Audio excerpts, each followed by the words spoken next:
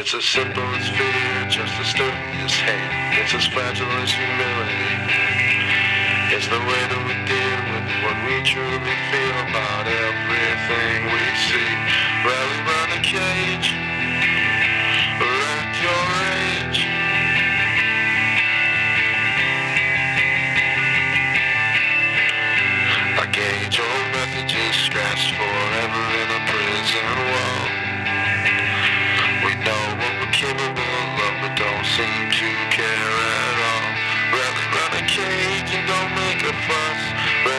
the cage, who am I if I'm not I'm one of us? It's a question of trust.